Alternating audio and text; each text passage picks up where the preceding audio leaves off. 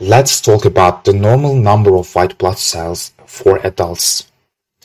White blood cells are monocytes, eosinophil, basophil, lymphocytes, and neutrophil.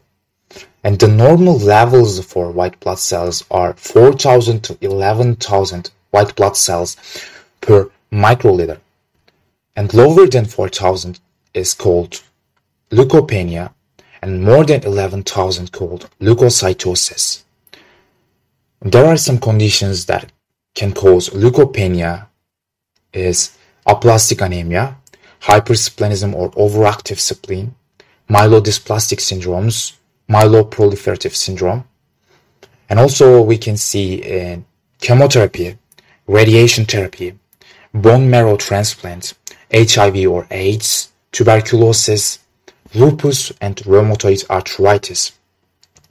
And some conditions that we can see leukocytosis are infections, leukemia, a reaction to emotional or physical stress, uh, things like anxiety, surgery, and exercise, having your spleen removed, or smoking. Also, we can see an allergies or allergic reactions, including hay fever and asthma, lymphoma, which is cancer associated with the immune system, also we can see in pregnancy. So that concludes our video for today.